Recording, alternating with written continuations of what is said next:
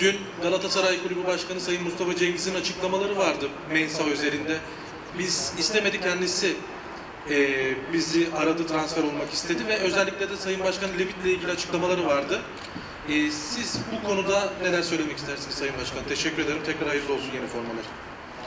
Şimdi teşekkür ederim. Ancak burada Adidas'la ilgili formalarımızla ilgili bir lansman yapıyoruz. Pek yeri olduğunu düşünmüyorum. Konuda başka soru sorulmamak kaydıyla eee, şunu söylemek istiyorum. Bugün konu Leyla konusu değil. Bugün konu Adidas. Dolayısıyla eee Sayın Cengiz'i anlayabiliyorum. Eee, İnsanlar bazen canları sıkıldığı zaman sertleşebilirler. Biz de oraya kabul edelim. Eee söylemleri doğru mu? Evet doğru. Bu kulüpler bu duruma Buna Galatasaray Kulübü de dahil olmak üzere tamamımız aslında geldiysek e, Sayın Mustafa Cengiz'in söylediği sebeplerden geldik. Ben bir hafta evvel başkanların olduğu ortak WhatsApp grubuna transfer dönemine giriyoruz. Menajer ve futbolcuların oyunlarına gelmeyelim sayın başkanlar. Birbirimizle ilgili yapacağımız transferlerde saygılı ve hoşgörülü olup fiyatları arttırmak için hareket edenlere vesile olmayalım, katkı vermeyelim diye söylemiştim. E, Ben bilmiyorum Mustafa Cengiz böyle ifade etmişse öyle ifade etmiştir. Biz kendisinin Messa'nın arkasında koştuğuna dair resmi ağzımızdan herhangi bir söylem bugüne kadar çıkmadı. Koskoca Galatasaray başkanıdır. Öyle diyor, söyledir. Umarım öyledir ama ben Messa'yı gördüm. Yalan konuşacak bir çocuk değil.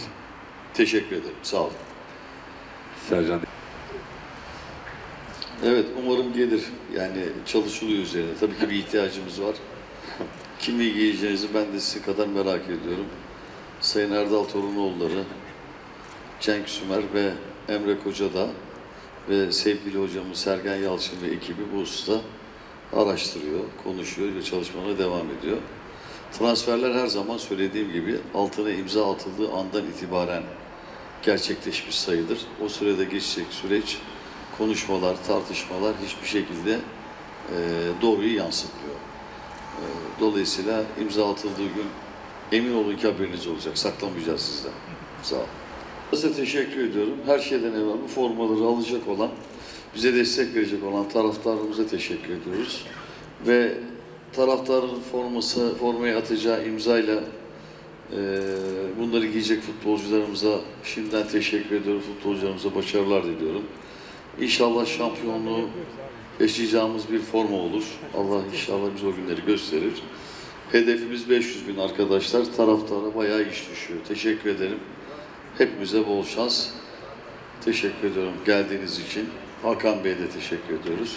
Yöneticilerime, profesyonel arkadaşlarıma, Özlem Hanım'a, Etap Hanım'a ve uzakta oturan Yeşim Hanım'a hepinize teşekkür ediyorum. Göremediklerim varsa kusura bakmayın. Buğra'ya, Armağan Bey'e hepsi bizlere e, destek verdiler. E, Seçil Bey size de teşekkür ediyoruz. Uzakta dursanız da yakınımızdasınız. Bu işin içerisinde siz de vardınız. Teşekkür ediyorum. Herkese teşekkür ediyorum. Tek tek saymaya gerek yok. Saygılar sunuyorum. Lansmanı bitiriyoruz. Geçmiş olsun.